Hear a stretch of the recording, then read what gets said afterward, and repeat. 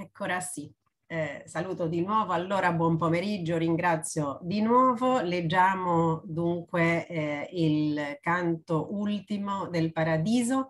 con il nostro solito metodo di questa modalità da remoto che abbiamo avuto in questi tre ultimi anni per via della pandemia cioè leggendo tutto di seguito, poi riprendendo, a un certo punto farò la nostra solita pausa di cinque minuti durante la quale vi prego di inviarmi se avete dei dubbi, eh, le vostre domande sulla chat, poi riprendiamo, eh, ci salutiamo, eh, eh rileggiamo eh, il canto per l'ultima volta così ce ne andiamo con la musica di Dante eh, nell'udito e nella mente. Vergine madre, figlia del tuo figlio, umile e alta più che creatura, termine fisso d'eterno consiglio, tu sei colei che l'umana natura nobilitasti sì, che il suo fattore non disdegnò di farsi sua fattura. Nel ventre tuo si raccese l'amore, per lo cui caldo nell'eterna pace così è germinato questo fiore cui sei a noi meridiane fasce di caritate e giuso in tre immortali, sei di speranza, fontana vivace. Donna, sei tanto grande e tanto vali, che qual vuol grazia e a te non ricurre, sua disianza vuol volar sanzali.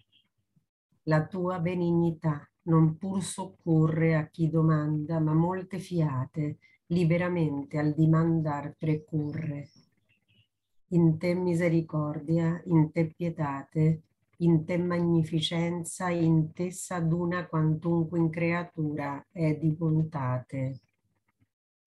Or questi, che dall'infima lacuna dell'universo infin qui ha vedute le vite spiritali ad una ad una, supplica a te per grazia di virtute tanto che possa con gli occhi levarsi più alto verso l'ultima salute e io che mai per mio veder non arsi più ch'io fo per lo suo, tutti i miei prieghi ti porgo e priego che non siano scarsi, perché tu ogni nube gli disleghi di sua mortalità coi prieghi tuoi, sì che il sommo piacer gli si dispieghi. Ancor ti priego, Regina, che puoi ciò che tu vuoli, che conservi sani dopo tanto veder gli affetti suoi vinca tua guardi i movimenti umani. Vedi Beatrice, con quanti beati per i miei prieghi ti chiudon le mani. Gli occhi da Dio diletti e venerati, fissi nell'orator ne dimostraro quanto i devoti prieghi le son grati. India l'eterno lume s'adrizzaro, nel qual non si dee creder che si invii per creatura l'occhio tanto chiaro e io che al fine di tutti disia prompiquava, sì come io dovea, l'ardor del desiderio in me finì. Bernardo m'accennava e sorridea perch'io guardassi suso, ma io era già per me stesso tal quale ei volea, che la mia vista, venendo sincera, e più e più intrava per lo raggio dell'alta luce che da sé è vera da quinci innanzi il mio veder fumaggio che il parlar mostra, che a tal vista cede e cede la memoria a tanto oltraggio. Qual è colui che somniando vede, che dopo il sogno la passione impressa rimane, l'altro alla mente non riede, cotal son io, che quasi tutta cessa mia visione ancor mi distilla nel core il dolce che nacque da esso. Così la neve al sol si disigilla, così al vento nelle foglie levi si perdea la sentenza di Sibilla. O somma luce che tanto ti levi da concetti mortali, alla mia mente ripresta un poco di quel che parevi e fa la lingua mia tanto possente una favilla sul della tua gloria possa lasciare alla futura gente che per tornare alquanto a mia memoria e per suonare un poco in questi versi, più si conceperà di tua vittoria. Io credo, per l'acume ch'io soffersi del vivo raggio, che sarei smarrito se gli occhi miei da lui fossero avversi. E mi ricorda che io fui più ardito per questo a sostener, tanto chi giunsi, l'aspetto mio col valore infinito. O abbondante grazia, un Dio presunsi ficcarlo viso per la luce eterna, tanto che la veduta vi consunsi.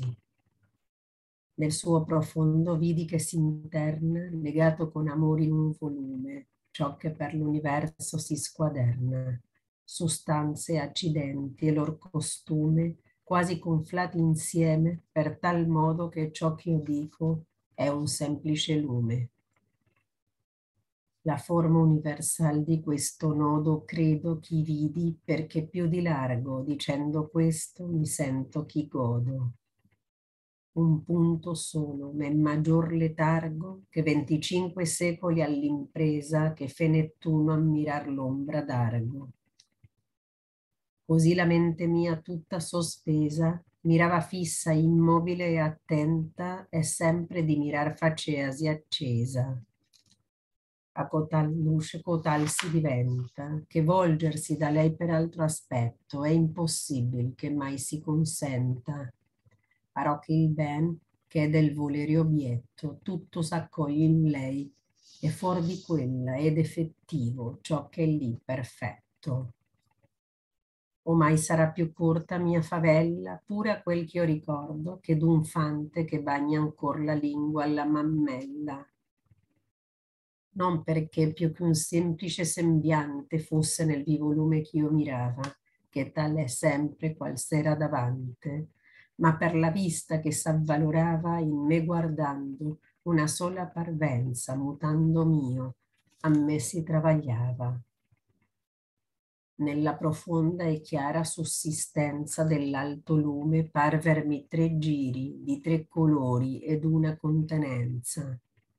E l'un dall'altro come iri da iri parea riflesso, e il terzo parea fuoco, che quince quindi ugualmente si spiri Oh quanto è corto il dire e come fioco al mio concetto e questo a quel chi vidi è tanto che non basta dicer poco. O luce eterna che sola intessidi, sola t'intendi e da te intelletta e intendente te ami e aridi quella circolazione che si concetta pareva in te come lume riflesso, dagli occhi miei alquanto circunspetta, dentro da sé del suo colore stesso mi parve pinta della nostra effigie, perché il mio viso in lei tutto era messo. Qual è il geometra che tutto s'affigge per misurarlo cerchio e non ritrova, pensando, quel principio dell'indige, Tale era io a quella vista nova. Veder voleva come si convenne l'imago al cerchio e come vi si indova.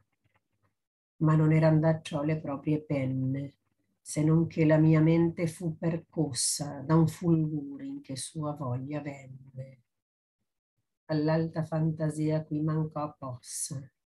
ma già volgevi il mio disio il velle, sì come rota che ugualmente è mossa l'amor che muove il sole e le altre stelle. Allora, eh, forse ricorderete che due settimane fa, quando abbiamo letto il canto ultimo, avevamo notato che quel canto eh, trentesimo secondo era finito con l'annuncio dell'orazione santa che Bernardo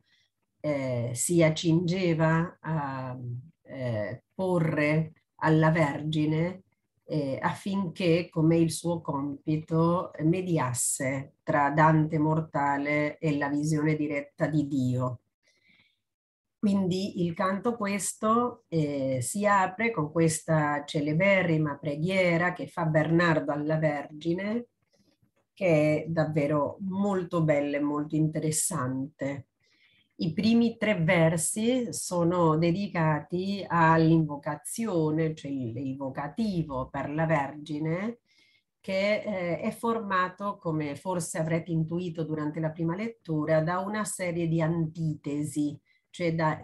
opposizioni che sarebbero simoriche, che nel mondo non avrebbero luogo e che in qualche modo preparano alla incomprensione dei misteri ultimi che Dante eh, cercherà invano di eh, descrivere con parole umane alla fine del canto. Quindi la prima antitesi è appunto Vergine Madre, che è qualcosa che è chiaramente una condizione che si dà solo miracolosamente in Maria, figlia del tuo figlio, cioè eh, figlia di Dio ma madre allo stesso tempo di tuo figlio, eh, figlia, umile e alta più che creatura, cioè creatura più alta dell'umanità proprio per la sua estrema umiltà, termine fisso d'eterno consiglio, cioè termine prefissato eternamente dalla provvidenza divina come momento eh, diciamo cruciale, cruciale nel senso etimologico di croce,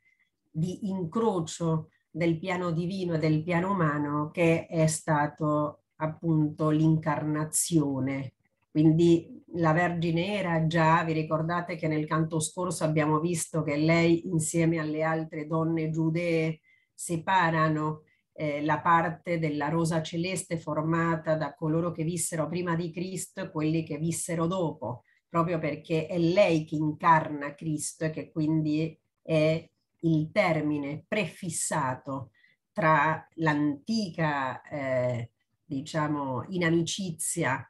che va da Adamo a Cristo con l'umanità e eh, la,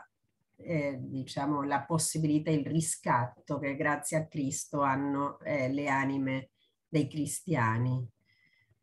Finito il vocativo, fin, eh, comincia la loda eh, di Bernardo alla Vergine, tu sei colei che l'umana natura nobilitasti sì, che il suo fattore non disdegnò di farsi sua fattura. Cioè tu sei quella che rese così nobile l'umanità che Dio, il creatore dell'umana natura, volle diventare fattura propria, e cioè umano anche lui. Nel ventre tuo si raccese l'amore per lo cui caldo nell'eterna pace, così è germinato questo fiore. Questa è un'immagine bellissima, ricordiamo che eh, se vogliamo immaginare in un qualche modo fisico l'Empireo dove si trova ora Dante in mezzo ai salvati, lui è insieme a Bernardo nel giallo centrale di questa sorta di anfiteatro che Dante ha nominato come rosa,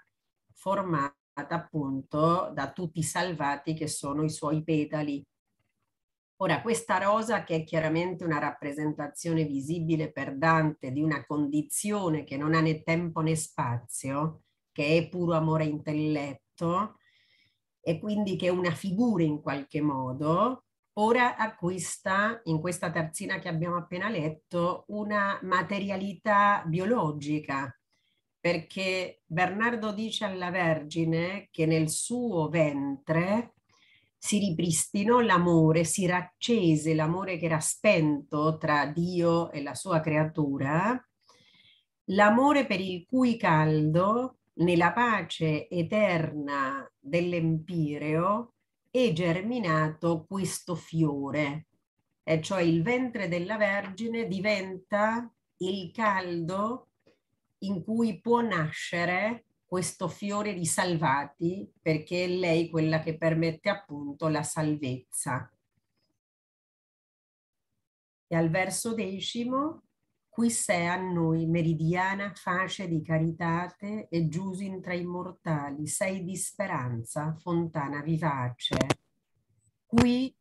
tra di noi, dice Bernardo, cioè tra noi salvati, sei la fiamma più alta, meridiana, come un sole di mezzogiorno, di carità. quindi sei la fiamma più accesa di amore per Dio,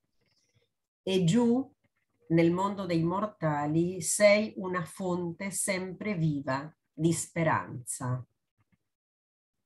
Donna, sei tanto grande, tanto vali, che qual vuol grazia e a te non ricurre, sua disianza vuol volar sanzali. Donna, sei così grande e hai un così alto valore che colui che vuole grazia e non ricorre a te è come se volesse privare di ali il proprio desiderio. È come qualcuno che vuole volare e non ha le ali. Questa, diciamo, necessità eh, dell'intercessione della Vergine per ottenere grazia da Dio, e Bernardo stesso l'aveva scritto eh, in un testo, quindi qui, come Dante ha fatto tante altre volte con alcuni personaggi, lui come scrittore sta mettendo in bocca del personaggio parole che quel personaggio storicamente aveva scritto, chiaramente non in terzine, con eh, terza rima, eh, ma in una prosa latina. E al verso 16 è interessante perché tutta questa loda che chiaramente riguarda l'altissima bontà e virtù di Maria e il suo compito per l'umanità in genere, si specifica nel ricordo di quello che lei fece con Dante, ma che Maria può fare per tutti noi. La tua benignità non pur soccorre a chi domanda, ma molte fiate liberamente al dimandare precorre cioè la tua bontà non soltanto dà risposta nel soccorrere qualcuno che l'ha domandata, ha domandato il soccorso, ma molte volte precorre liberamente, senza bisogno di richiesta, la domanda.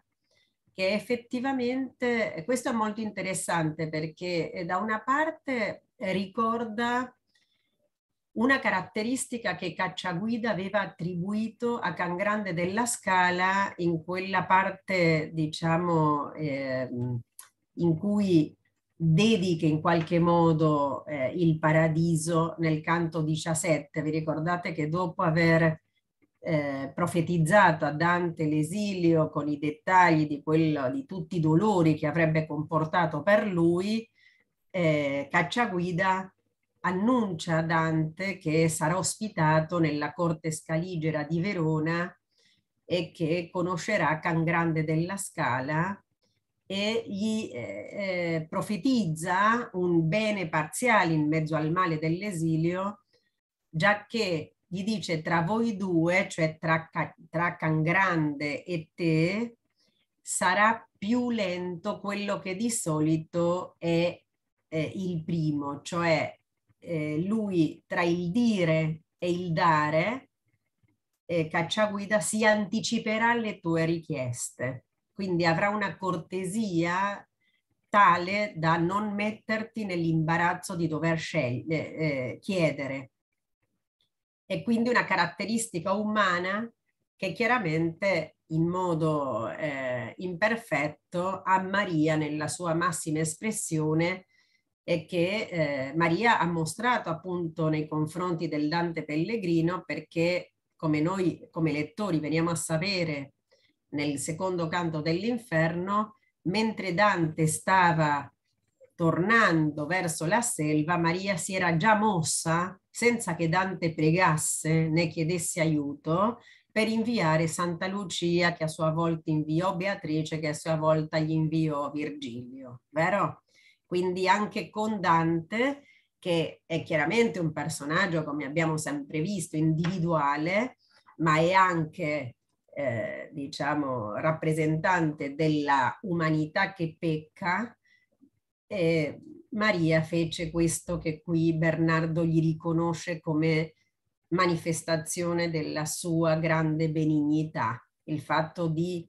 precurre alla richiesta di aiuto. E al verso 19 in te misericordia, in te pietate, in te magnificenza, in te saduna quantunque in creatura è di bontate. Cioè in te Maria si radunano tutte le virtù delle creature, il che è del tutto coerente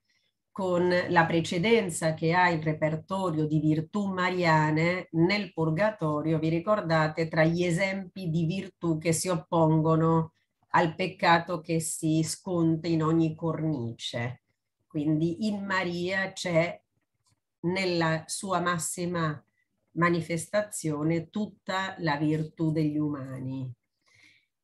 E al verso 22 inizia la supplica, cioè è finita la loda che seguiva il vocativo, l'invocazione e inizia proprio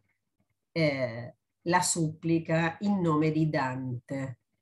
Or questi che dall'infima lacuna dell'universo infin qui ha vedute le vite spiritali ad una ad una, ora lui Dante che accanto a Bernardo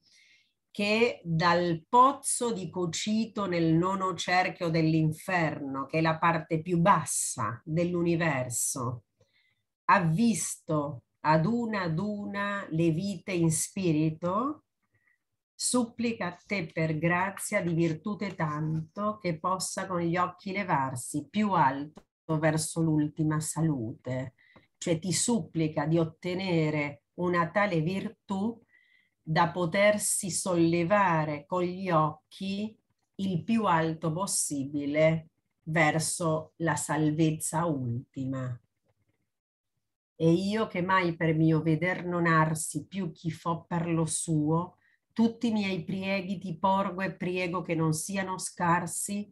perché tu ogni nube gli disleghi di sua mortalità coi prieghi tuoi, sì che il sommo piacere gli si dispieghi. Allora, qui Bernardo dal verso 28 eh,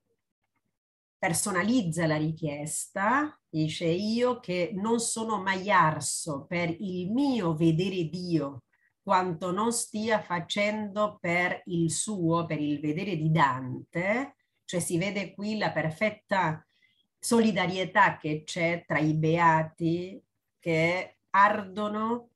di desiderio di vedere se stessi Dio quanto per Dante che è un pellegrino lì,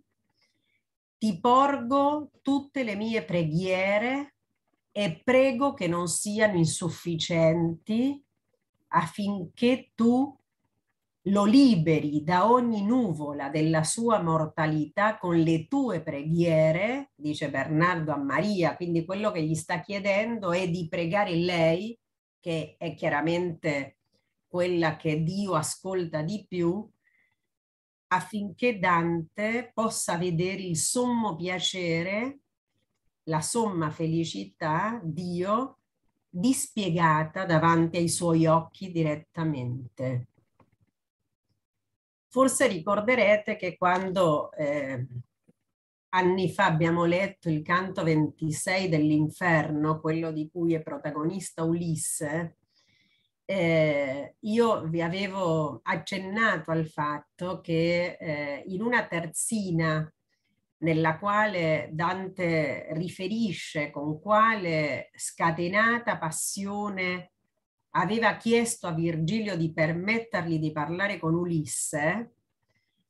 Maestro, io ti priego e ripriego che il mio priego vaglia mille, che non mi facci dell'attender niego. Io in quel momento vi avevo detto che il solo altro momento del libro in cui il verbo pregare si ripeteva più volte in versi successivi era appunto questo, dentro la preghiera di Bernardo alla Vergine,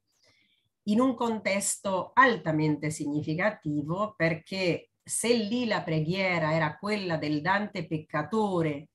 attratto consapevolmente eh, in pericolo eh, da quello che Ulisse rappresentava, qui la preghiera è affinché Dante veda Dio. Quindi secondo alcuni studiosi questa coincidenza lessicale tra quella ripetizione del verbo pregare in quel contesto e qua suggerisce l'importanza vitale che ebbe per Dante l'incontro con Ulisse, senza il quale forse non si sarebbe aperto a lui il paradiso, perché come abbiamo visto quando abbiamo letto quel canto stupendo, eh, Ulisse è nella sola zona dell'inferno verso la quale Dante implicitamente eh, eh, esprime un'attrazione molto rischiosa. Quindi è come se il Dante scrittore, mettendo questo verbo pregare in ripetizioni sia lì che qua, stesse invitandoci a considerare che se lui non avesse avuto eh, la provvidenziale occasione di imparare da Ulisse ad allontanarsi dal peccato di superbi intellettuale, non si sarebbe salvato, quindi non gli si sarebbe aperta la visione ultima che qui Bernardo sta chiedendo per lui. E al verso 34, come se non bastasse la bellezza di, di questa preghiera, Bernardo aggiunge una terzina davvero commovente che considera la, eh, la vita breve futura che eh, spetta a Dante quando tornerà dal viaggio come umano. Ancora ti prego, regina, che puoi ciò che tu vuoli, che conservi sani dopo tanto veder gli affetti suoi. Cioè qui eh, Bernardo aveva già chiesto che a Dante venisse dispiegato il sommo piacere, quindi che vedesse Dio. Avrebbe potuto finire lì la preghiera, perché questo è il massimo a cui si può aspirare, ma lui ora pensa alla condizione del Dante pellegrino che deve tornare al mondo e deve scrivere un libro per noi umani e allora prega la Vergine che conservi sani gli affetti umani di Dante dopo aver visto tanto, cioè che Dante non cada in un misticismo tale da disprezzare il mondo quando torna, perché Dante sta per vedere in Dio il bene assoluto, supremo. E quindi Bernardo considera che c'è il rischio che quando Dante torni al mondo non possa continuare ad amare quelli che rappresentano beni imperfetti necessariamente in confronto con Dio e quindi che conservi sani questi affetti che sono quelli che alimentano il libro che deve scrivere. E io quando leggo questo canto con eh, amici come voi che mi accompagnano. Eh, mi piace condividere eccezionalmente un'esperienza personale di lettura che penso possa essere anche di interesse per voi. Di solito cerco di non farlo, cerco di trasmettervi solo quello di cui sono sicura perché sono insomma idee accertati da una critica insomma eh, prestigiosa ma io ricordo sempre che la prima volta che lessi completa la Divina Commedia con tantissimo sforzo, eh, arrivata a questa terzina, ebbi la sensazione che questa preghiera in qualche modo coinvolgeva noi lettori e che fosse una richiesta affinché possiamo conservare sani gli affetti per altri libri dopo tanto vedere perché effettivamente dopo aver letto questo libro non è facile accontentarsi di altri e quindi forse una preghiera anche per noi che stiamo arrivando alla fine della lettura di un libro perfetto affinché possiamo anche accontentarci di libri umani. E al verso eh, 37 aggiunge per l'ultima, come ultima idea Bernardo, vinca tu aguardi i movimenti umani, vedi Beatrice, con quanti beati, per i miei prieghi ti chiudono le mani. Bellissima ultima immagine dell'empirio che avremo di tutte le anime che pregano per la visione di Dante e che quindi ci danno proprio l'idea dell'importanza che questa visione ha per l'umanità e il nome di Beatrice, la donna eh, che si mosse per salvare Dante come ultimissimo dettaglio personale del traguardo che Dante sta raggiungendo. Quindi al verso 39 si chiude la preghiera, riprende la parola il Dante poeta che in questo canto non aveva ancora parlato, gli occhi da Dio diletti e venerati, fissi nell'oratorne, dimostraro quanto i devoti prieghi le son grati, cioè gli occhi di Maria, quelli eh, eh, preferiti, diletti e venerati da Dio, essendo fissi in Bernardo nell'odatore e non in Dio, come sono tutte le anime sempre che stanno contemplando Dio, ci dimostrarono quanto lei accoglieva volentieri questa preghiera devota. Indi all'eterno lume s'adrizzaro, nel qual non si deve credere che si invii per creatura l'occhio tanto chiaro. Quindi, cioè, quando finirono le parole di Bernardo, Maria, che durante la preghiera aveva guardato lui, rivolse i suoi occhi nella luce eterna di Dio, nella quale nessun'altra creatura entra più profondamente. E quindi dobbiamo capire che in questi versi 43-45 eh, eh, quello che sta accadendo è che eh, Maria trasmette a Dio la preghiera che Bernardo gli ha fatto, quindi sta facendo sua questa richiesta per Dante. E al verso 46, e io che al fine di tutti disia prompiquava, sicom'io dovea, l'ardor del desiderio in me finì. E io che mi stavo avvicinando alla fine, al fine ultimo di tutti i desideri, così come è dovuto, Dante infatti lo dice, la stessa idea appare nel convivio, nella monarchia, esaurì, portai al mio termine finale l'ardore del desiderio. Bernardo mi accennava e sorrideva perché io guardassi Suso, ma io era già per me stesso tal qual lei voleva. Cioè Bernardo con un sorriso accenna Dante eh, affinché guardi in Dio. Prima vi ricordate l'aveva invitato a guardare Maria.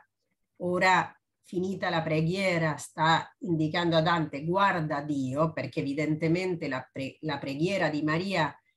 è ascoltata da Dio, quindi Dante potrà vedere direttamente Dio, ma Dante era già per se stesso in quella situazione, quindi spontaneamente, liberamente, senza bisogno più di una guida che gli indichi che cosa fare, stava già istintivamente guardando Dio. Verso 52 che la mia vista, venendo sincera, e più e più intrava per lo raggio dell'alta luce che da sé è vera, già che la mia vista, diventando sempre più pura, entrava più e più dentro il raggio di Dio, dell'alta luce, che è la sola luce che è vera in se stessa e non è solo il riflesso della luce di Dio come sono le altre luci. Ora vedete che qui inizia una visione di Dio che in Dante è progressiva a differenza della istantanea rivelazione che hanno i salvati, perché lui è umano e nonostante chiaramente gli sia stata una grazia straordinaria, deve prepararsi progressivamente a vedere Dio in un modo analogo a quello in cui ha visto progressivamente l'empireo, prima come fiume di luce, poi come cerchio, poi come rosa. E al verso 55 il Dante scrittore interrompe la narrazione nel momento in cui lui immerge gli occhi nella luce che è Dio per dichiarare, come ha fatto più volte, ma in questo canto il topos sarà veramente quello più sviluppato, l'ineffabile estremo del suo racconto, cioè quello che non può dire con parole umane. Da quinci innanzi il mio veder fummaggio che il parlar mostra, che a tal vista cede, e cede la memoria a tanto oltraggio. Cioè da qui in avanti, dice il Dante scrittore, la mia visione fu maggiore di quello che può mostrare la parola umana. In alcuni manoscritti appare questo verbo mostra, cioè che mostra il parlare, in altri il possessivo nostro, del parlar nostro umano, giacché davanti a questa visione il parlare cede, cioè è insufficiente, e cede anche la memoria di fronte a questa visione eccessiva, questo oltraggio. Vi ricordate quando abbiamo letto all'inizio di quest'anno il primo canto del Paradiso che Dante aveva annunciato di aver visto cose che non si possono né ricordare né dire. Cioè l'inizio della cantica era appunto la gloria di colui che tutto muove, per l'universo penetra e risplende in una parte più e meno altrove, nel ciel che più della sua luce prende fu io e vidi cose che ridire né sa né può chi di lassù discende. Il cielo che più della sua luce prende è appunto l'empireo, dove Dante è ora. E quindi quello che deve descrivere ora come poeta è parte di quelle cose che essendo necessariamente tornato alla sua condizione mortale, non può recuperare con la memoria e quindi non può neanche dire con la parola. Più volte abbiamo visto che Dante si trovava in difficoltà nel dover descrivere una musica particolarmente bella, una luce eccessiva, la bellezza di Beatrice, e di solito eh, due erano finora le strategie, eh, diciamo, da scrittore di fronte a questa impossibilità. O saltava, qui il sacrato poema salta e quindi passa ad altro, rassegnandosi a non dire quello per il quale non ha memoria o non ha parola, oppure si serviva, soprattutto quando la difficoltà era verbale più che di memoria, si serviva di analogie, di paragoni, pur di avvicinare quell'esperienza straordinaria alla nostra comprensione. In questo caso Dante si trova davanti all'estremo ineffabile perché non è che non ha parole per dire quello che ricorda, non ricorda quello che vide e quindi è in bianco e sa che deve finire il poema ma non può recuperarne la materia. E quindi che fa? Invece di fare un'analogia di quello che vide per rendere almeno approssimativamente in parole sua, il suo oggetto del, di visione, in questo caso si serve di tre analogie non per quello che vide, che non ricorda, bensì per la sua condizione di poeta in quel momento, in questo momento, perché è come se qui ci invitasse a condividere il presente della scrittura nel quale si trova davanti a questo vuoto. E quindi al verso 58, qual è colui che sognando vede, che dopo il sogno la passione impressa rimane e altro alla mente non riede, cotal son io che quasi tutta cessa mia visione ancor mi distilla nel core il dolce che nacque da essa. Cioè, questo è, questa è un'analogia davvero universale, perché questa è un'esperienza che abbiamo tutti avuto, il fatto di svegliarci, di sapere che abbiamo sognato qualcosa, di avere ancora l'emozione, la sensazione del sogno, ma non poter recuperare quello che abbiamo visto. Così dice Dante che è come colui che si sveglia, che ha visto qualcosa in sogno, gli rimane impressa la sensazione, ma non torna alla memoria il resto, così sono io, dice Dante, già che l'oggetto della mia visione è quasi completamente scomparso, ma ancora oggi, dice il Dante scrittore che nel 1321 sta finendo il libro e che fece il viaggio vent'anni fa, ancora mi cadono gocce di dolcezza della visione. E quindi ci presenta un'immagine davvero interessantissima di uno scrittore che ha scritto tutto il libro senza ricordare l'ultimo che dovrà raccontare. Lo scrisse con il dolce che gli nacque e con la speranza di poterlo recuperare nel momento in cui ne avrebbe avuto bisogno. Quindi come chi si sveglia da un sogno ha un'emozione nel cuore ma la mente non riesce a recuperare ciò che si è sognati. Adesso un'altra immagine, così la neve al sol si disigilla, cioè così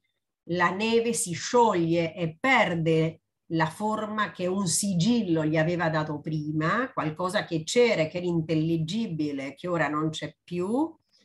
Così al vento nelle foglie levi si perdea la sentenza di Sibilla. Così la Sibilla Cumana, che come narra Virgilio nel terzo dell'Eneide, scriveva i suoi responsi oracolari nelle foglie degli alberi che poi volavano, e quindi la saggezza che c'era scritta si perdeva, così Dante ha perso quella visione. Dante ora si metterà a pregare per chiedere appunto il Dante scrittore che deve finire il suo libro e non ricorda ciò che vide e quindi non può finirlo,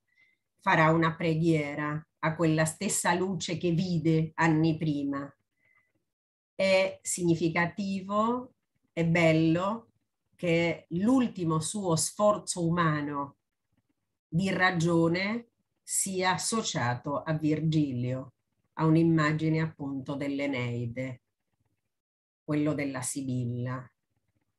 Ora al verso 67 prega il Dante scrittore per poter finire il libro. O somma luce che tanto ti levi dai concetti mortali, alla mia mente ripresta un poco di quel che parevi e fa la lingua mia tanto possente che una favilla sul della tua gloria possa lasciare alla futura gente, che per tornare alquanto a mia memoria e per sonare un poco in questi versi, più si conceperà di tua vittoria. Allora Dante, il Dante scrittore, davanti ai suoi fogli in bianco, prega la somma luce che si solleva, si eleva così tanto dai concetti mortali, cioè da quello che può concepire una mente limitata umana, quindi la sua stessa che non, non può recuperare, concepire, avere dentro di sé quello che aveva visto straordinariamente per grazia durante il viaggio, gli chiede di riprestare alla sua mente, alla mente ora del Dante scrittore, almeno un poco di quello che Dante aveva visto, cioè detto in seconda persona, Dante dice ripresta alla mia mente almeno una parte di quello che mi sei apparsa. Questo verbo riprestare è interessante perché suggerisce forse che Dante non stia chiedendo di recuperare per sempre la memoria della visione, ma almeno il tempo necessario, no? come un prestito appunto, no? non un regalo, non un dono che dura per sempre, ma almeno il sufficiente per poterlo raccontare, perché effettivamente dopo aver chiesto di recuperare nella mente, almeno in parte, la visione, chiede ora di dare alla sua lingua poetica una tale potenza da poter lasciare almeno una scintilla di quell'incendio che fu la visione per lasciarla alla futura gente. Questo è molto importante perché suggerisce che il Dante scrittore non aveva bisogno di ricordare la visione durante tutta la sua vita, aveva bisogno di recuperare i suoi affetti dopo aver visto tanto, aveva bisogno chiaramente della sensazione di dolcezza che nacque dalla visione ultima, ma ora che ne ha bisogno come scrittore osa chiederlo a Dio, cioè la memoria dell'oggetto ultimo di visione a Dante viene dato straordinariamente solo per noi, cioè affinché lo possa scrivere nel suo libro e noi futura gente lo possiamo leggere. E quindi al verso 73 spiega già che per il fatto di tornare almeno in parte alla mia memoria e per poter suonare almeno un poco in questi versi che sto scrivendo proprio ora, più si comprenderà del trionfo di Dio. E qui io credo, perché eh, notevolmente nella critica questo non l'ho trovato, ma secondo me qua, tra il verso 75 e il verso 76, in modo implicito Dante ci fa capire che la sua preghiera è stata esaudita e che lui ora sì comincia a ricordare quello che prima non ricordava. Perché infatti ora comincia a descriverlo. Io credo per la come che io soffersi del vivo raggio, chi sarei smarrito se gli occhi miei da lui fossero avversi un'altra, un'altra situazione lì che contrasta con la condizione umana. Dante dice, per la acutezza, l'intensità del, del vivo raggio della luce divina, io credo che mi sarei smarrito, cioè che avrei perso conoscenza, che sarei diventato cieco, se i miei occhi si fossero stornati da lui. Cioè, a differenza del mondo e di tante volte in cui Dante ha dovuto abbassare lo sguardo davanti a una luce che lo abbagliava, in questo caso lui intuisce che quella visione intellettuale, perché qui diciamo quello che Dante sta vedendo è la luce della verità, la luce che da sé è vera, in questo caso straordinario, Dante crede che si sarebbe smarrito, e la parola non è casuale perché ricorda che la dritta via era smarrita eh, nel primo dell'inferno, se avesse, eh, diciamo, distorto gli occhi verso un altro oggetto. Quindi a differenza di quello che accade con le luci del mondo, Dante Perciò, per chi intuisce che fuori da quella luce non c'è verità, osa mantenere il suo sguardo umano unito con la divinità. Infatti al verso 79 e mi ricorda che fui più ardito per questo a sostenere, tanto più giunsi l'aspetto mio col valore infinito. Cioè mi ricordo che io per quello osai so, cioè per quello, perché intuivo che se io avessi spostato lo sguardo mi sarei perso, per quello fui più ardito nel sostenere lo sguardo dentro il raggio divino, tanto da unire la mia vista umana individuale di peccatore che sta facendo un tragitto di sanazione con Dio con il valore infinito. E lo scrittore, prima di descrivere quello che vede dentro Dio, che occupa la seconda parte del canto, esclama di nuovo o abbondante grazia, un Dio presunsi ficcar viso per la luce eterna, tanto che la veduta vi consunsi. O grazia abbondante dalla quale mi venne la presunzione di fissare lo sguardo attraverso la luce eterna di Dio, tanto da consumare, da far arrivare al limite la mia vista.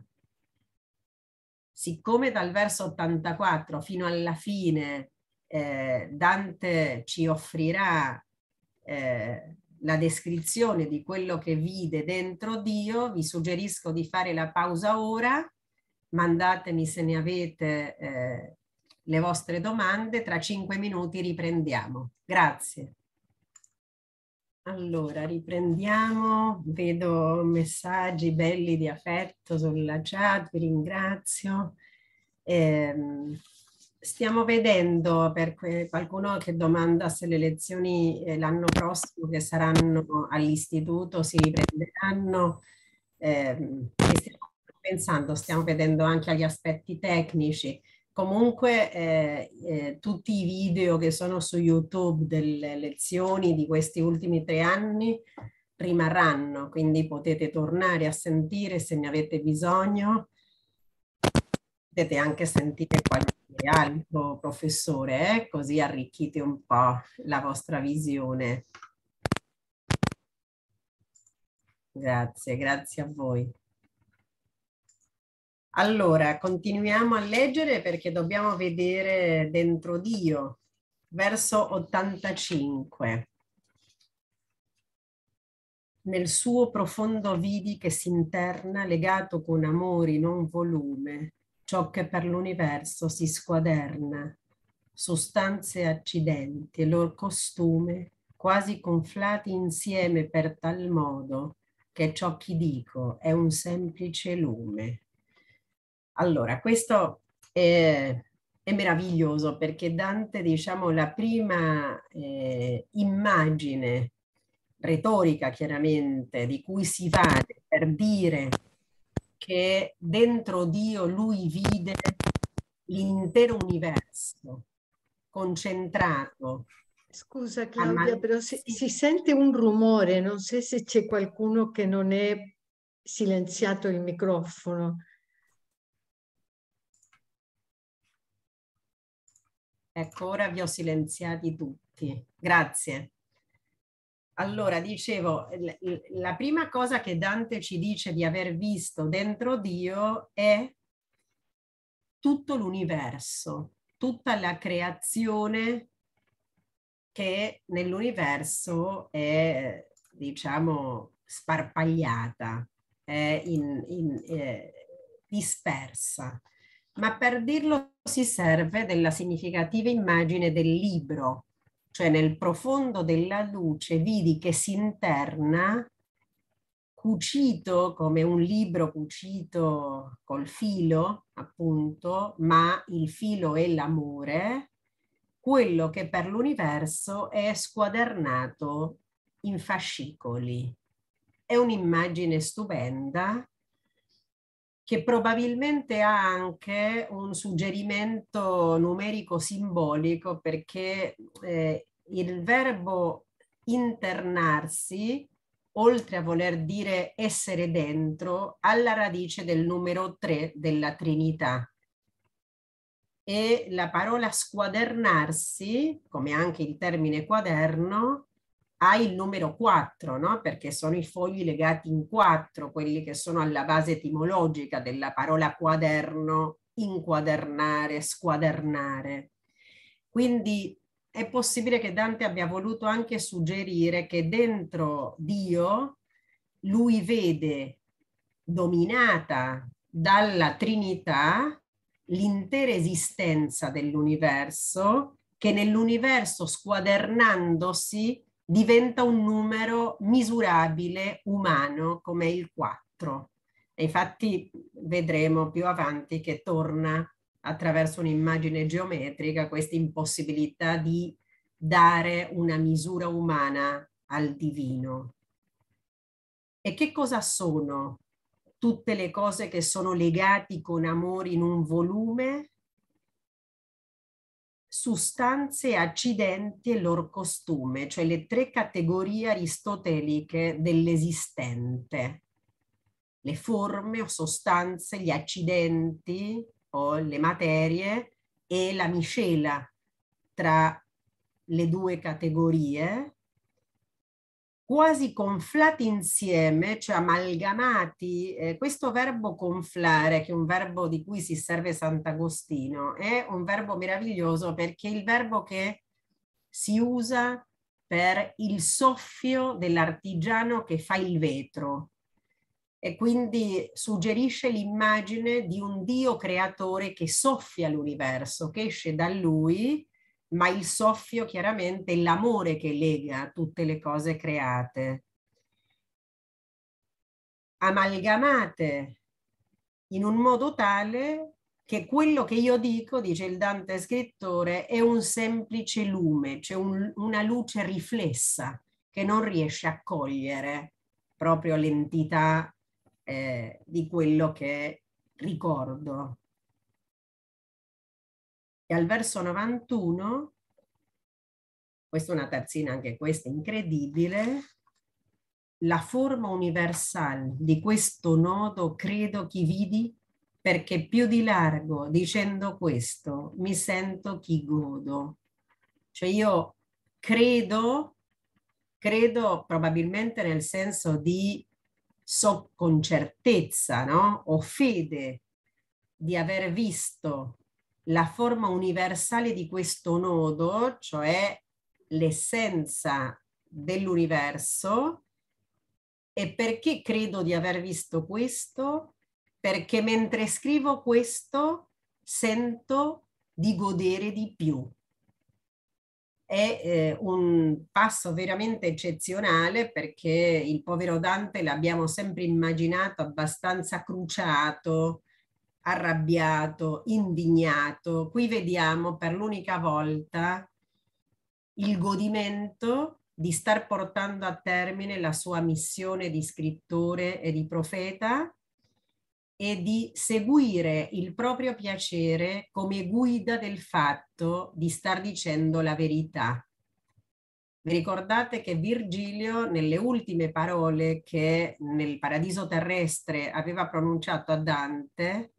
aveva detto il tuo piacere ormai prendi per duca, cioè eh, ormai puoi seguire il tuo piacere come guida perché essendoti liberato dalle false passioni del peccato, il piacere in te ormai coincide con il bene. Quindi il fatto che il Dante scrittore, tanti anni dopo questa, questo addio di Virgilio, si lasci guidare dal piacere che gli provoca scrivere una cosa, questo gli dà proprio la certezza di star scrivendo la verità, il fatto di star godendo, suggerisce che tanti anni dopo continua a seguire il consiglio di Virgilio.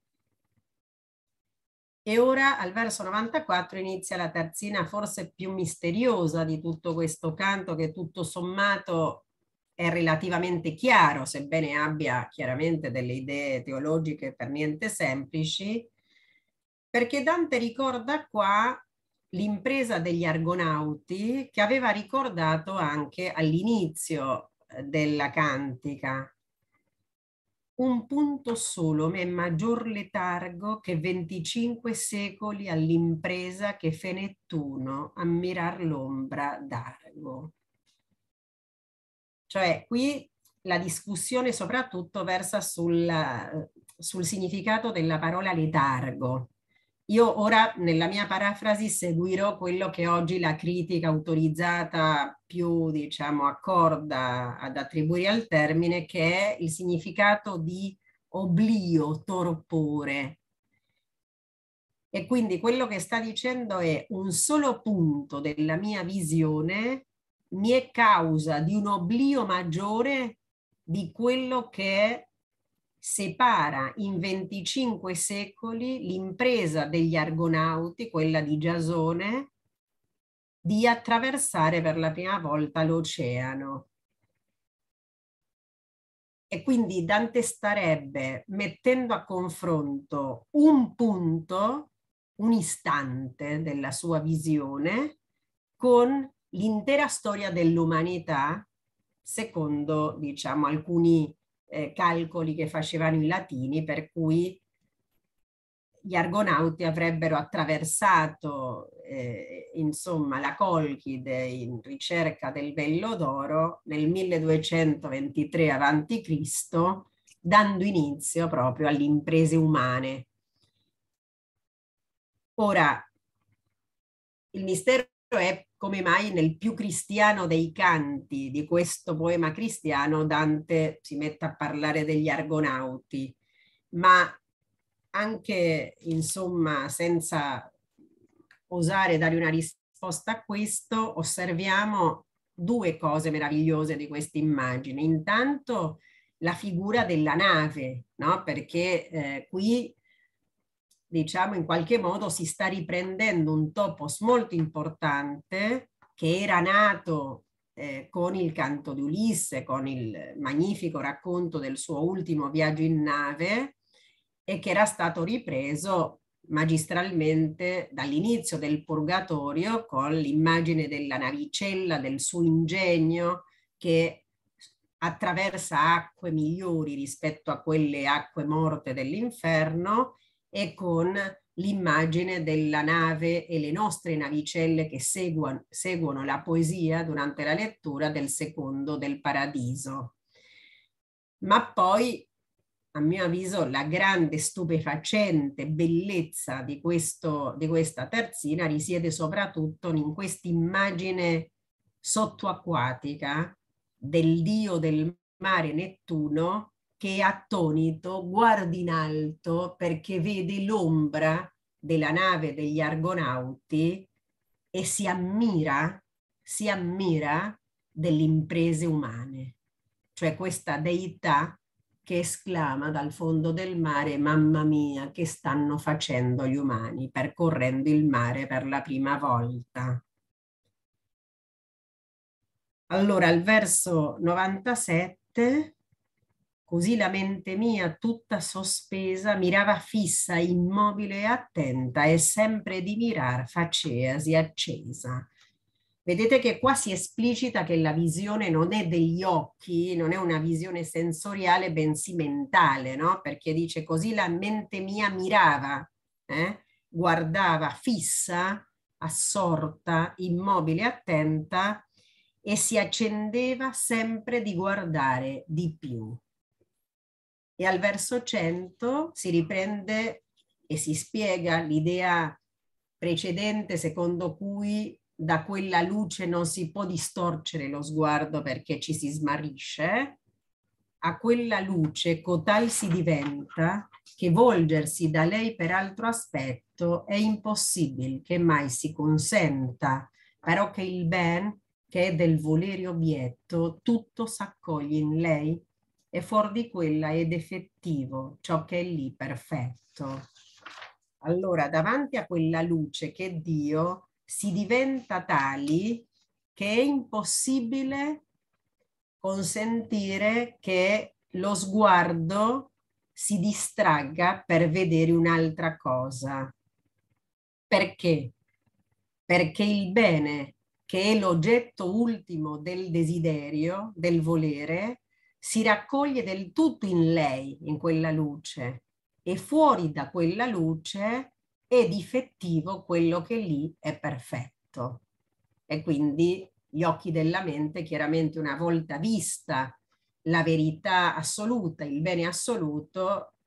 non hanno alcun desiderio che li porti a guardare altrove dove il bene, la bellezza, la verità è imperfetta. E ora al verso 106 Dante dichiara di nuovo l'ineffabilità di quello che deve raccontare ora e lo fa portando all'estremo la serie di regressioni che avevamo notato durante la lettura del Paradiso, in cui Dante paragona se stesso con un bambino sempre meno in grado di dire a parole la sua esperienza. O mai sarà più corta mia favella, pura quel che io ricordo, che d'un fante che bagna ancora la lingua alla mammella. Cioè ormai, ormai come scrittore, cioè da ora in poi, per quello che devo narrare, la mia favella, la mia capacità di parola sarà più corta anche rispetto a quello che io ricordo, che è sottointeso che è una parte, un'ombra di quello che si è visto,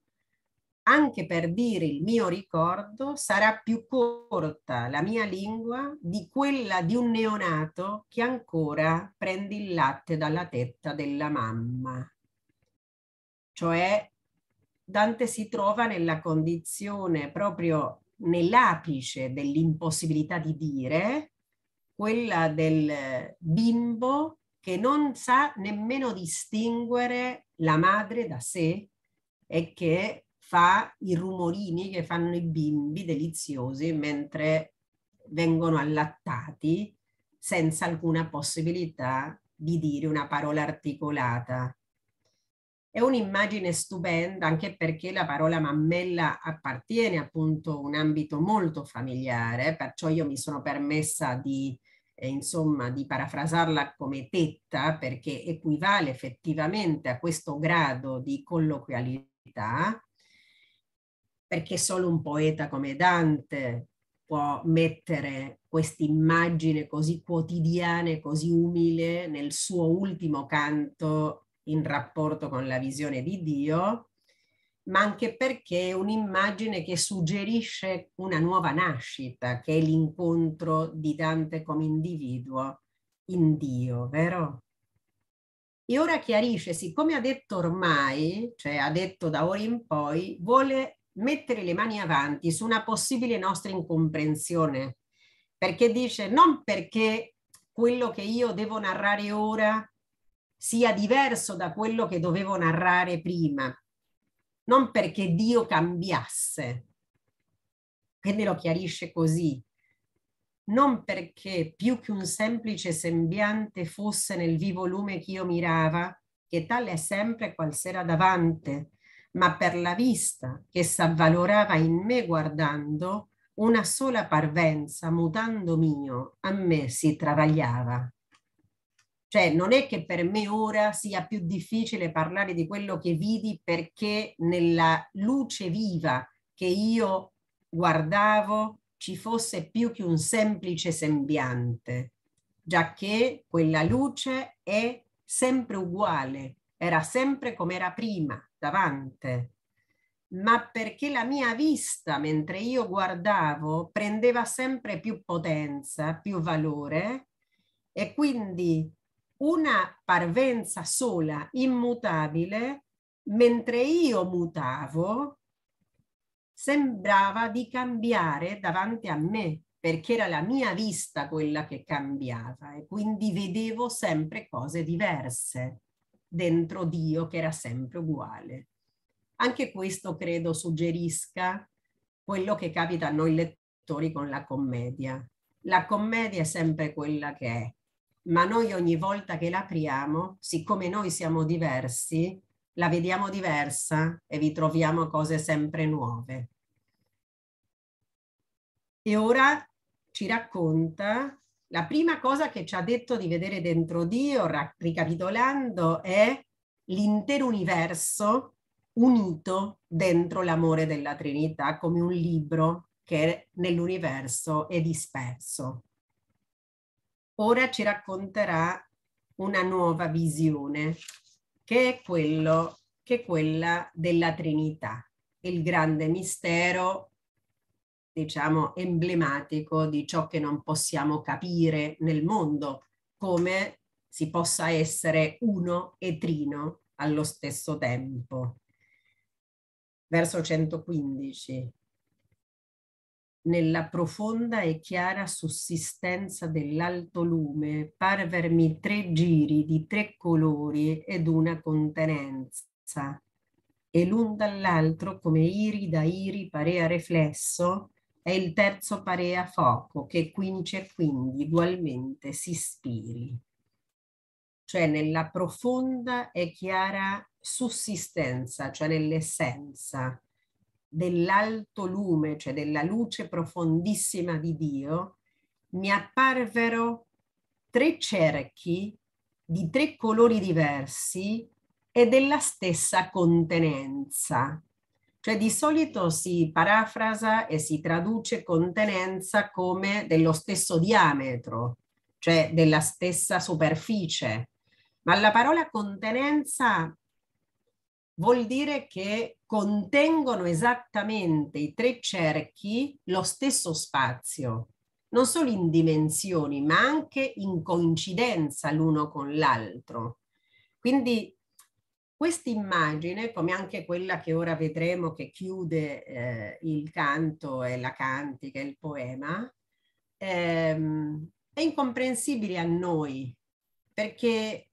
se noi vedessimo tre cerchi di diversi colori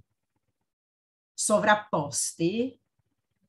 nel mondo con i, i nostri occhi umani, in mezzo allo spazio, potremmo percepire solo quello che è più vicino a noi perché coprirebbe quei due che sono dietro. Invece, invece Dante riesce a vedere i tre colori, nonostante siano nello stesso spazio della sua rappresentazione mentale, chiaramente, eh? perché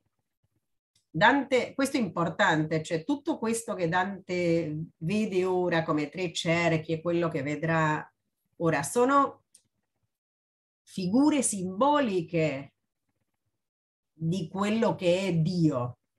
Dio nella sua essenza non può essere ricordato né trasmesso. Infatti questa sarà l'ultimissima esperienza del viaggio con la quale chiuderemo la lettura.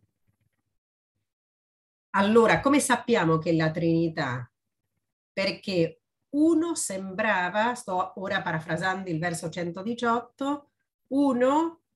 appariva come riflesso dell'altro, come un arcobaleno dell'altro. E questo, per chi più o meno è avvezzo alla teologia trinitaria, lo decodifica come il figlio che è riflesso del padre. E il terzo cerchio appariva come fuoco ugualmente ispirato dal padre e dal figlio, da quinci e quindi, cioè lo Spirito Santo, che è appunto la parola, questo sintagma che noi ripetiamo a volte senza pensare, è il Santo Spiro, la respirazione no? del Padre e del Figlio, eh, che creano appunto lo Spirito Santo. E qui Dante si sofferma come scrittore di nuovo per esclamare l'insufficienza di quello che sta dicendo rispetto di quello che ricorda e anche la insufficienza chiaramente di quello che ricorda rispetto a quello che vide. O quanto è corto il dire come fioco al mio concetto e questo a quel che vidi è tanto che non basta a dicere poco. Questa terzina io l'ho capita solo in questi giorni mentre preparavo questa lezione, eh, nonostante abbia studiato la commedia tanti anni e questo canto in particolare lo leggo in ogni occasione, anche corso antologico, perché guardate che Dante sta dicendo innanzitutto quanto è corto, insufficiente la parola, il dire, e come fioco, cioè debole, rispetto del mio concetto, cioè di quello che io ho concepito, quindi che ricordo ora nella mia mente. Ma ha potuto dire che era corto e fioco, ha potuto usare parole umane per rendere questo divario tra concetto mortale e parola umana. Invece, aggiunge e questo, cioè il mio concetto umano della mia mente, rispetto a quello che io vidi, è tanto, cioè è così poco che non è sufficiente dire poco. Cioè, mentre Dante ha parole umane per segnare la differenza tra quello che ricorda e quello che può dire, per segnare la differenza tra quello che ricorda e la visione della divinità, non ha parole. È insufficiente anche dire poco. E allora in questo momento c'è una nuova invocazione al verso 124 che è prodotto appunto della constatazione dell'insufficienza di ciò che sta descrivendo, o luce eterna che sola intessidi, sola t'intendi e da te intelletta e intendente te ami e arridi. Cioè l'esclamazione chiaramente unimembre è per rendere, per giustificare in qualche modo l'insufficienza di quello che lui con parole umane può scrivere. O luce eterna che sei solo in te stessa, cioè che risiedi solo in sé, a differenza di tutte le creature che debbono la propria esistenza a Dio. Sola ti intendi, cioè sei la sola a comprenderti e intelletta da te e intendente te, ami e sorridi. Questa, quest'ultimo verbo, aridi, sembra di essere, a quanto diciamo almeno fin dove arriva la mia conoscenza, le note che ho letto, una innovazione dantesca. Cioè che Dio risiede in se stesso e sia l'unico che intende se stesso, se stesso e che sia amore, sono idee tradizionali della filosofia e della teologia, ma che Dio goda in questa sua esistenza sembra di essere un'aggiunta dantesca, un'innovazione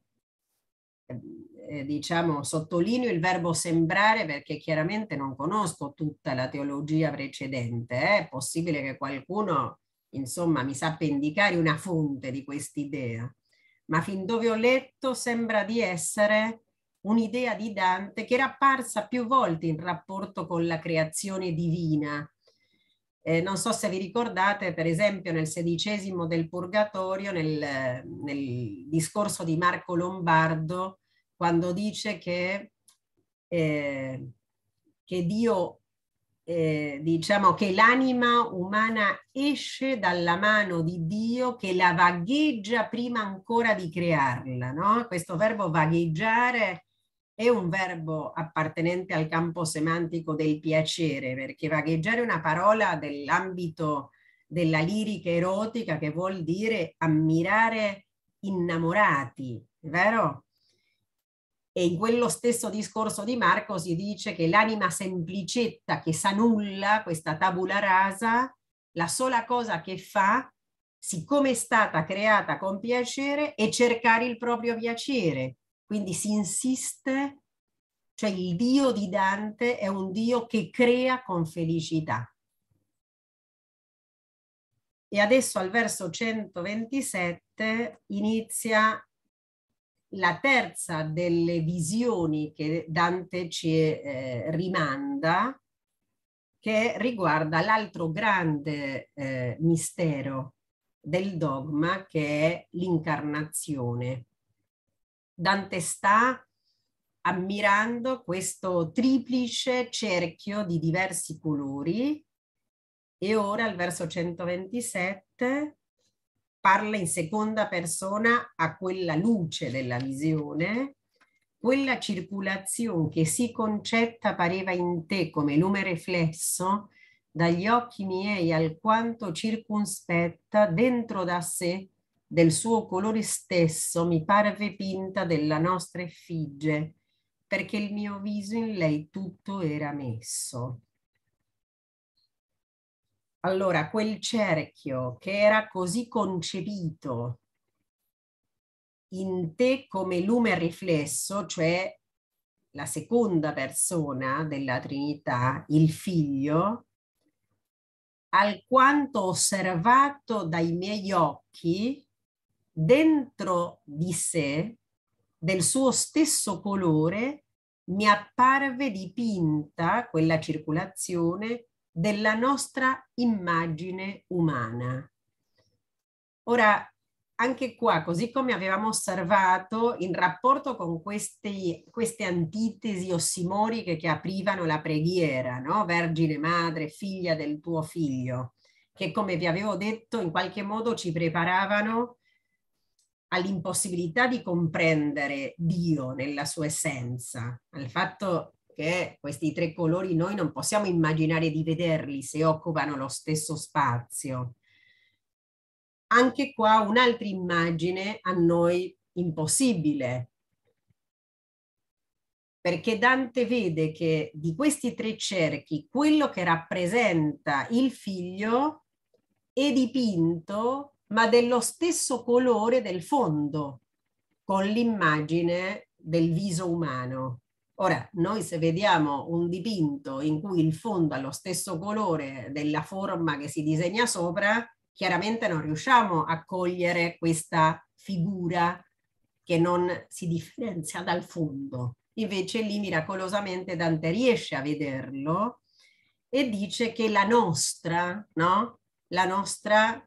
il nostro ritratto umano che vede, quindi quello che sta vedendo è nella persona del figlio la natura umana. Per cui, dice al verso 132, il mio viso, cioè la mia vista, era tutta messa in lei. Cioè Dante come uomo fissa spontaneamente il figlio perché lì vede l'uomo. Cioè questo, eh, questo verso 132 tradizionalmente viene parafrasato anche come l'ho appena fatto, no? come un eh, consecutivo, per cui visto che vedevo la nostra immagine umana, il mio sguardo si era fissato proprio in questo cerchio. Ma potrebbe anche forse essere letto, forse, come, eh, come causale,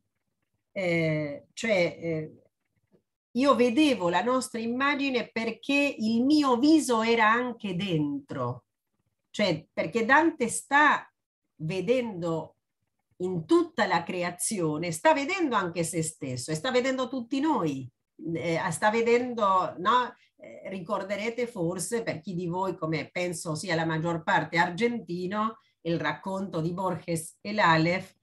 che prende molto di questi ultimi canti del paradiso e fa una bellissima enumerazione di tutto quello che lui dice di vedere in questo infimo oggetto luminoso dove c'è tutto il mondo, dove vede tutto e, da, e Borges si dice che vede tutti noi e vede se stesso e vede l'Alef eh, in una eh, misina bis, no? Eh, certo, Dante si accontenta di dire sostanze accidenti lor costume perché lì sa aristotelicamente di star comprendendo tutta l'esistenza, vero? ma evidentemente Dante sta guardando la nostra immagine, quella del figlio, e arriva al punto massimo di difficoltà di capire e quindi un'altra volta ci offre un'analogia per rendere sua, questo suo sforzo estremo al verso 133. Qual è il geometra che tutto s'affigge per misurarlo cerchio e non ritrova, pensando quel principio dell'indige, tale era io a quella vista nova, veder voleva come si convenne l'imago al cerchio e come vi si indova, cioè come il geometra che si sforza del tutto per trovare la quadratura del cerchio. Anche lì c'è la coesistenza dell'umano col divino, il cerchio chiaramente è la figura geometrica insieme al punto emblematica per Dio, per l'incommesurabile,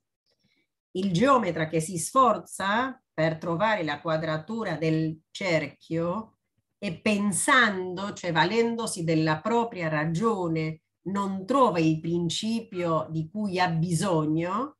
il verbo indigere del verso 135 lo potete associare al, al nostro participio presente indigente, no? Cioè indigere vuol dire aver bisogno di qualcosa,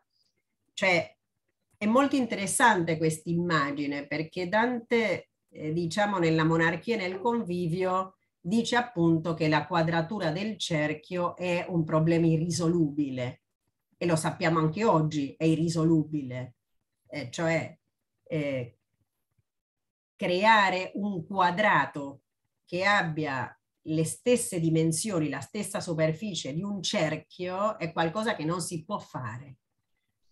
E quindi Dante è consapevole, almeno quando scrive, del fatto che si stava sforzando per capire qualcosa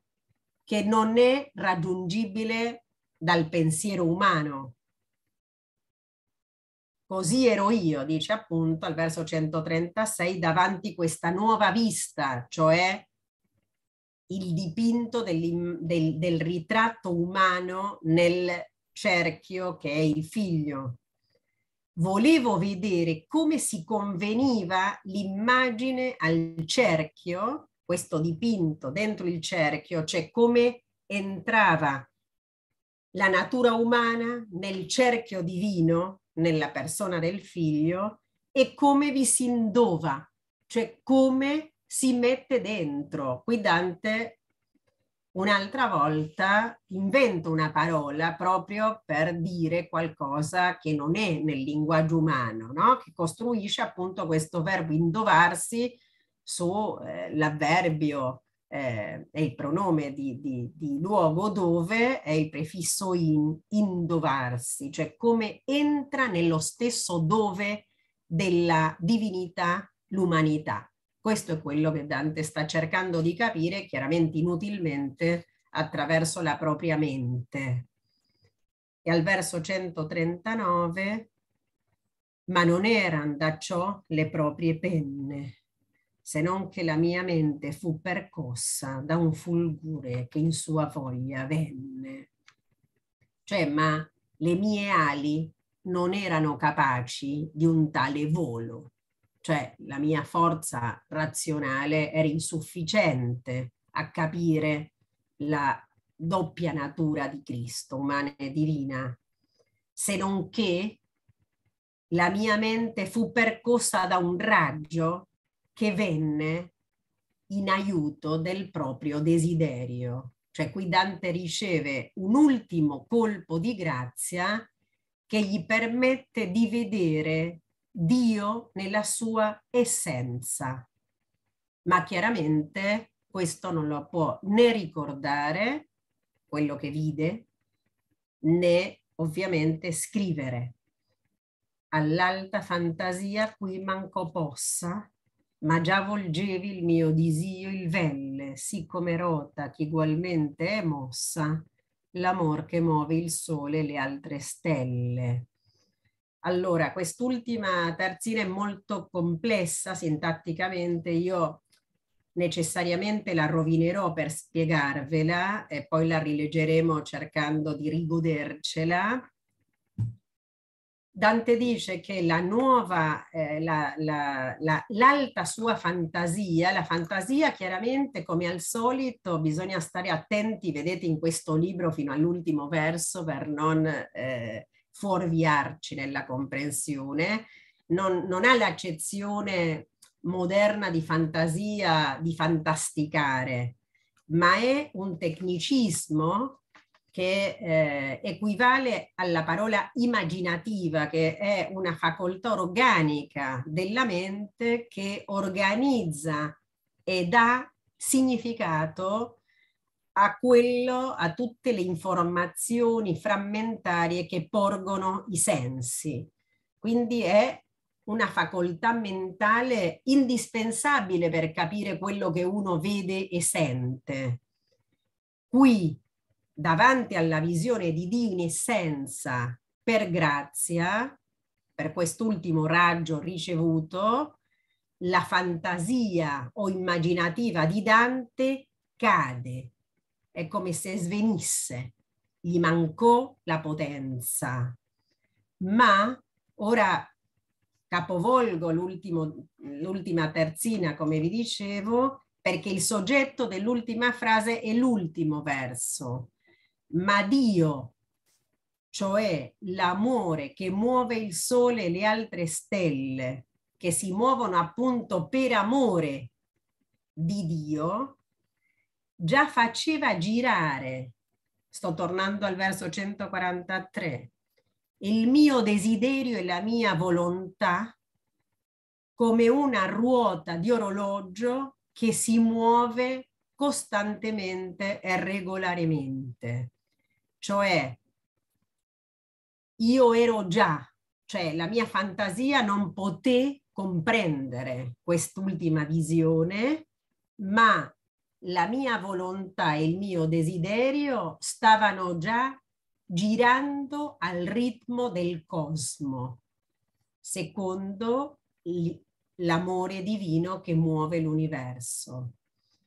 Queste due parole, disio e belle,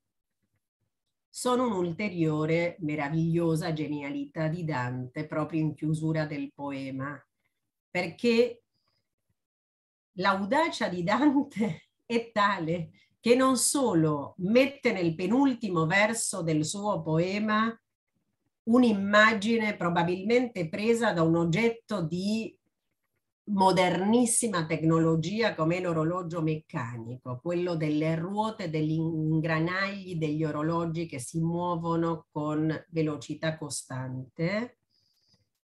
ma anche in posizione di rima per l'ultima rima con la parola stelle con la quale voi sapete Dante chiude i tre libri, un tecnicismo latino, il verbo vel, che è un infinito latino che vuol dire volere, tipico della lingua della scolastica, come sinonimo significativo di disio. Cioè, disio è una parola tipica della lirica erotica in rapporto con le donne, in rapporto con Beatrice, il disio. E il velle è il termine del desiderio della volontà, più legato alla volontà di conoscere, perché Dante qua eccezionalmente vede soddisfatti, totalmente appagati sia il suo desiderio di amore che il suo desiderio di conoscenza, perché Dio è amore e verità, amore e intelletto. Quindi in, tutte, in tutti i suoi bisogni di amore e di conoscenza, Dante è già pagato eccezionalmente come vivo, condividendo la sua condizione con quella dei salvati e si serve fino all'ultimo di tutte le parole che ha onorato come poeta, del suo italiano che ha fatto nascere come vera lingua, capace di dire tutto, e del latino che è la lingua della conoscenza attraverso la quale ha acquistato scienza. Vedo che ci sono delle domande. Non capisco bene questo dell'orologio. Beh sì, è ovvio che non si capisce bene perché non l'ho spiegato bene. Eh, perché in realtà quello che Dante dice è come una ruota che è mossa e quindi in voce passiva è, è mossa da qualche altro, eh, da qualche altra forza ugualmente, cioè regolarmente. Secondo alcuni studiosi, siccome Dante si era già valso dell'immagine dell'orologio che, eh, insomma, che fa ruotare no? questo meccanismo così bello degli orologi meccanici di ruotine che girano eh, a diverse velocità, secondo alcuni studiosi Dante si sta riferendo appunto a questa ruota degli orologi. Non è necessario che sia così, è bello che sia così, perché eh, è un'immagine appunto di una grande contemporaneità all'epoca di Dante, perché era un'invenzione veramente di tecnologia di punta all'epoca di Dante, che Dante aveva ammirato e aveva sfruttato esteticamente in altre parti del paradiso. Ma se non volete non pensate un orologio, Dante sta parlando di una ruota che si muove, che è mossa da un'altra forza in modo regolare come immagine per rendere la perfetta congruenza che c'è tra la sua volontà e il suo desiderio e l'universo. Chiaramente Dante questo non, non ci può raccontare che cosa vide, perché appunto non ha potuto neanche capirlo. La sua mente è stata eh, diciamo, colpita da un raggio di grazia che l'ha fatto andare oltre il limite umano, quindi chiaramente non potrà recuperarlo quando anni dopo si mette a scriverlo. Ma certo sappiamo che dopo questo è tornato al mondo e ha scritto questo incredibile libro con quello che si ricorda, vero? Prima di rileggere il canto, così ce ne andiamo anche con la voce di Dante nella memoria, vi ringrazio ancora della vostra compagnia, della vostra fedeltà. È stato veramente bello, un balsamo anche attraverso l'etere, condividere questo libro incredibile. E vi ringrazio anche del, del regalo materiale che mi avete voluto fare eh, spero di vedervi l'anno prossimo in tre dimensioni all'istituto, chi di voi è a Buenos Aires, eh, e recuperare anche eh, quella dimensione così necessaria dell'aula. Grazie ancora, buone feste, buon anno, eh, rileggiamo il canto. Grazie a te Claudia, veramente perché sono stati questi tre anni con tutto quello che abbiamo vissuto, con la pandemia e con la... ascoltare te e Dante veramente mi fa emozionare. Grazie, ascoltare Dante, ascoltare Dante, continuate a leggerlo, poi ormai potete leggerlo da soli, ci sono edizioni stupende con le note. Eh, la parola di Dante veramente sì, è, è, è consolazione. Vergine madre, figlia del tuo figlio, umile e alta più che creatura, termine fisso d'eterno consiglio,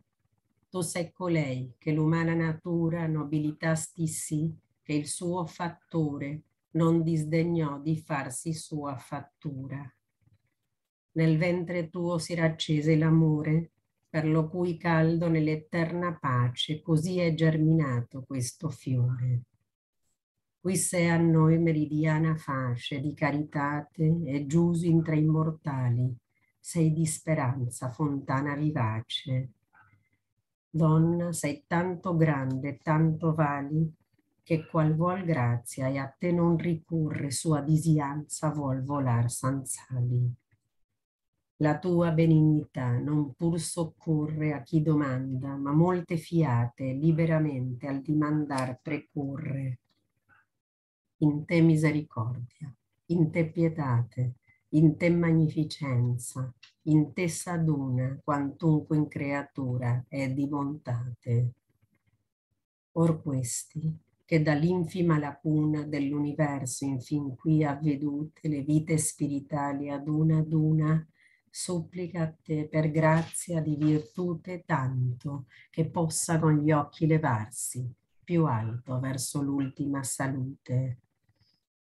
E io che mai per mio veder non arsi più ch'io fo per lo suo, tutti i miei prieghi ti porgo e priego che non siano scarsi, perché tu ogni nube li disleghi di sua mortalità coi prieghi tuoi sì che il sommo piacere vi si dispieghi. Ancor ti prego, Regina, che puoi ciò che tu vuoli, che conservi sani, dopo tanto veder gli affetti suoi. Vinca tua guardi i movimenti umani. Vedi Beatrice, con quanti beati per i miei preghi ti chiudo le mani. Gli occhi da Dio diletti e venerati, fissi nell'orator, ne dimostraro quanti devoti prieghi le son grati. Indi all'eterno lume sadrizzaro, nel qual non si dee creder che si invii per creatura l'occhio tanto chiaro. E io che al fine di tutti disii apprampicoava, siccome io dovea, l'ardor del desiderio in me finì. Bernardo m'accennava e sorrideva perché io guardassi susso, ma io era già per me stesso tal quale ei volea, che la mia vista, venendo sincera, e più e più entrava per lo raggio dell'alta luce che da sé è vera. Da quinci innanzi il mio veder fumaggio che il parlar mostra, ca tal vista cede e cede la memoria tanto oltraggio qual è colui che sognando vede che dopo il sogno la passione impressa rimane e l'altro alla mente non riede, cotal sonio che quasi tutta cessa mia visione e ancor mi distilla nel core il dolce che nacque da essa. Così la neve al sol si disigilla, così al vento nelle foglie levi si perdea la sentenza di Sibilla o somma luce che tanto ti levi dai concetti mortali, alla mia mente ripresta un poco di quel che parevi e fa la lingua mia tanto possente ch'una favilla sol della tua gloria possa lasciare alla futura gente, che per tornare alquanto a mia memoria e per sonare un poco in questi versi, più si conceperà di tua vittoria. Io credo, per la come ch'io soffersi del vivo raggio, chi sarei smarrito se gli occhi miei da lui fossero avversi. E mi ricorda che io fui più ardito per questo a sostener, tanto chi giunsi l'aspetto mio col valore infinito. O abbondante grazia, ond'io presunsi ficcar lo viso per la luce eterna, tanto che la veduta vi consulsi nel suo profondo vidi che si interna, legato con amore in un volume, ciò che per l'universo si squaderna. Sostanze accidenti e lor costume quasi conflati insieme per tal modo che ciò che io dico è un semplice lume. La forma universale di questo nodo credo che vidi perché più di largo dicendo questo mi sento chi godo un punto solo, né maggior letargo che 25 secoli all'impresa che fe Nettuno a mirar l'ombra d'arco. Così la mente mia tutta sospesa mirava fissa, immobile e attenta, e sempre di mirar faceasi accesa.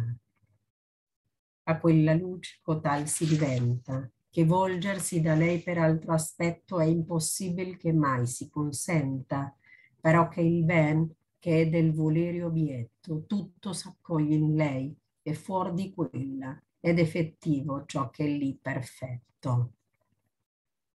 O mai sarà più corta mia favella, pura quel che ho ricordo, che d'un fante che bagna ancor la lingua alla mammella.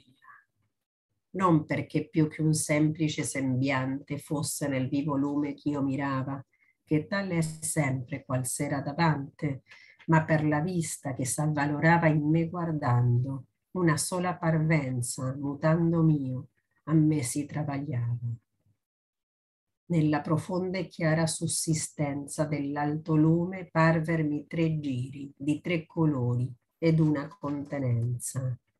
E l'un dall'altro come iri da iri parea riflesso e il terzo parea fuoco, che quince quindi ugualmente si ispiri o quanto è corto il dire come fioco al mio concetto, e questo a quel chi vidi è tanto che non basta dicer poco. O luce eterna che sola intessidi, sola t'intendi, ed ante intelletta e intendente te ami e ridi. Quella circolazione che si concetta pareva in te come lume riflesso, dagli occhi miei alquanto circolato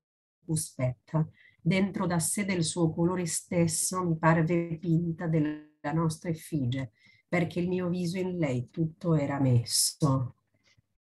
Qual è il geometra che tutto s'affigge per misurarlo cerchio e non ritrova, pensando quel principio dell'indige, tale era io a quella vista nova. Veder voleva come si convenne l'imago al cerchio, e come vi si indova. Ma non eran da ciò le proprie penne, se non che la mia mente fu percorsa da un fulgure che in sua voglia venne. All'alta fantasia qui mancò possa, ma già volgeva il mio disiel velle, sì come rota che ugualmente è mossa l'amor che muove il sole e l'altre stelle. Grazie, auguri